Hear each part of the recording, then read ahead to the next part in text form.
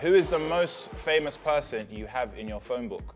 Mine's a flex. Uh, no one's got someone more famous than mine. Gordon Ramsay. Yeah, that is a flex. Really? That no, he's my guy.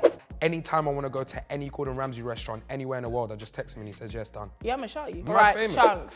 No, but Chunkz is the most famous. Bro, person. Chunkz goes Somalia and the president greets him. That's a madness. Bro, I went to Sierra Leone and the president tried to rob me. so different countries, different rules. man. You're joking, yeah? Yeah, of course. Okay.